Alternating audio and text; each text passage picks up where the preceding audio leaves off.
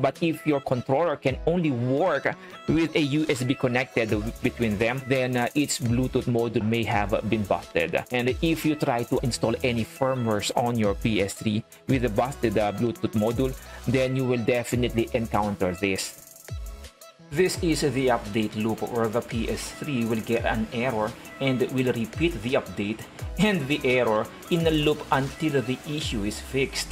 So this is very important before we do uh, any updates on our PS3. Otherwise, uh, your PS3 will be stuck on uh, the state that you won't be able to use it until it is fixed and unfortunately there is uh, no software fix for this one. You have uh, to bring uh, your ps3 to a technician and have your bluetooth fixed. And in case your ps3 is already stuck with this loop unfortunately there is no bypass. Unless if your ps3 has already a cfw installed or custom firmware